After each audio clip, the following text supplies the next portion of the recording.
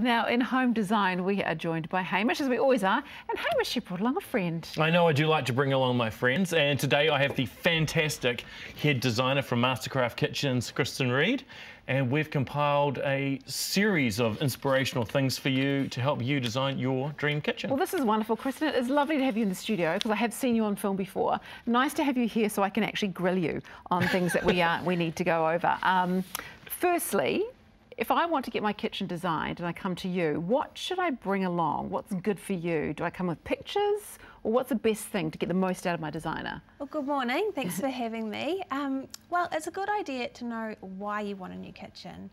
You can have a portfolio or a Pinterest page to share with us, but if you don't know, we can help you find out that reason why you want a new kitchen, whether it's the layout or just the look, and we can work it out together. Right, so the reason oh, my kitchen's just dumb isn't enough of a reason for you? not always, not always. I mean, some people just don't like um, certain aspects of the layout, all their friends got a new kitchen and they just kind of want to keep up. All your needs change, don't they? Your yeah. family grows, you've got different needs, you need to sort of change things around a bit. Yeah, exactly. Okay, so what we've got for you is a massive selection of photos we're going to run through. Yes, I love this. And uh, we're going to be kicking off, we're going to be talking about using colour in the kitchen. Mm -hmm. Okay, so let's have a look at the pictures and Kristen's going to run us through what she thinks. Okie dokie. Now this first image has colour blocking, which is really on trend.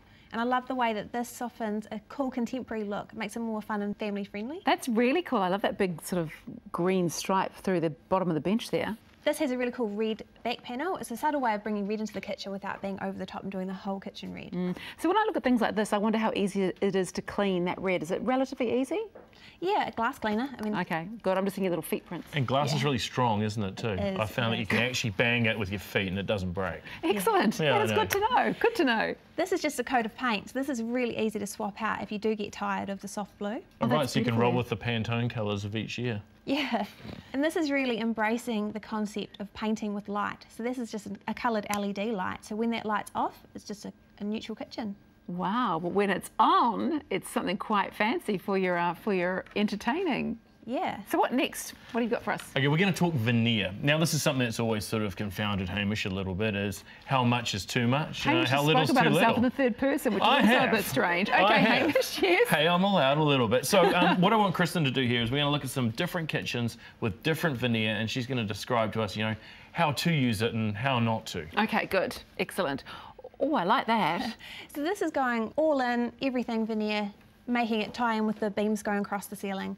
And that just, it gives it a really homely feel. I really like that veneer. It's kind of very, um, it's very Scandinavian looking. Yeah. This is a nice dark, rich timber, but because there's a stain on this veneer, it's not so in your face, because veneer can be quite busy. So this is really like pared back. It's quite subtle unlike this one, which is gorgeous, but I like how they've matched a neutral back panel just so it's not too overwhelming. So that's one of those ones where you could do too much, right? Too much, yeah. So that's why you need your designer to, to balance to tell it you, out. Rein you Hold in. your yeah. phone on the veneer, you've got too much there. What about this one? So this is just adding just a wee bit, just to create some warmth. Otherwise this kitchen would be very, you know, monochrome. I really like that. It's just that little touch of warmth there, isn't it? Yeah, it looks great with the copper pendant lights as well. It does. So those are some veneers, so that warmth that timber gives you. I mean, what else have you got to inspire us? We've got bench tops. we like bench tops. oh, this is my favourite part of the whole thing. Cool. Kristen's got some amazing pictures of bench tops okay. and different materials. Go! So stainless steel is very on trend at the moment and this is a beauty. It's a huge bench top and it's over three metres and no join. It's seamless because it's stainless steel. Wow, see I really love that look and my mum's got an old stainless steel bench top so I didn't think I would but then it's come back on trend now and it looks so yeah. cool and even when it's a bit scratched it looks really good. It's awesome. Here's um, mixing materials. So you've got a stainless steel bench top on the back and a concrete on the island at different thicknesses, it works really well together and they do complement each other. Stainless steel goes with everything. They look really good. Um, with the with the concrete though, you've got to be careful that you don't drop your glasses on it, don't you? Very hard yeah. Oh, plastic Mel. Okay, what about this one? So this is engineered stone or composite stone.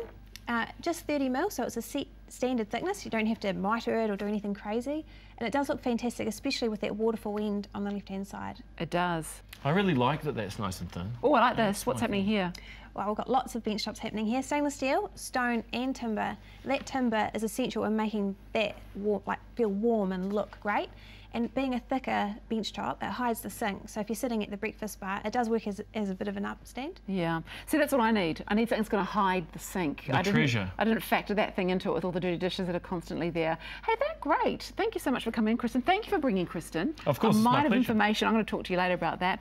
Uh, truly inspiring. So thanks, Hamish, and to Kristen. Uh, if you too are inspired, you can head to mastercraft.co.nz for more.